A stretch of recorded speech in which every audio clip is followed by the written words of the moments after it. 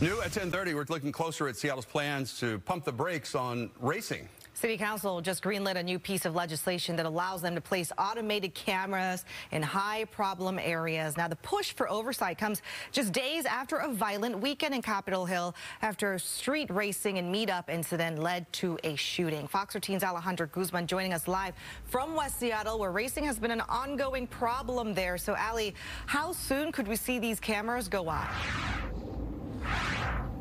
Oh, Hannah, David, I can tell you that's still a times away. Today was just the very first step in getting this ordinance approved, and it's the very first of its kind for the city of Seattle. But for residents who live up and down Alki Beach, they say it's a sign of relief as racing up and down their front doors has been a huge concern, especially after following a very traumatic car crash that happened just a week ago.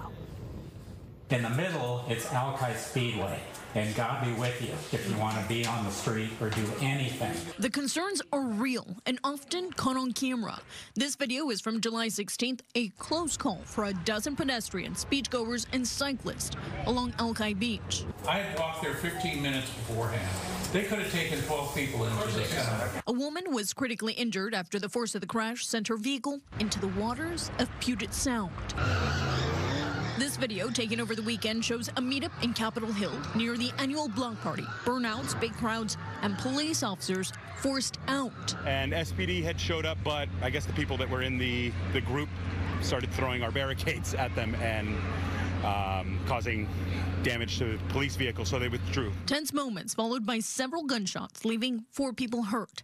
Situations residents across the city have been pleading to put an end to. We need safe streets.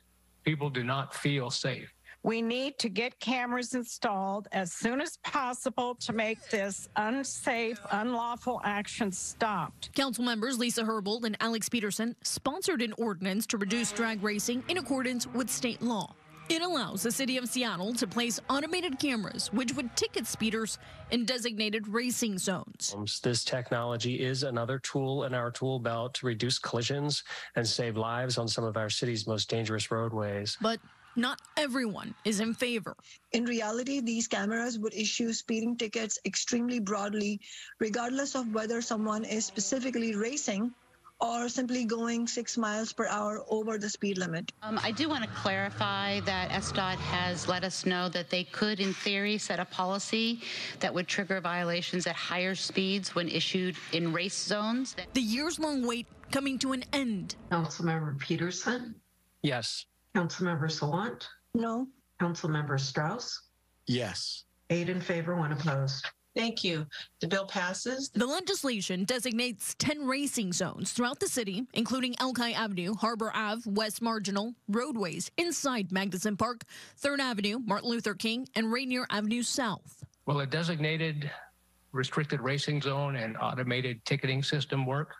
I'm not naive enough to think that it's the end all, but I do believe it will be a significant deterrent if speeders are ticketed.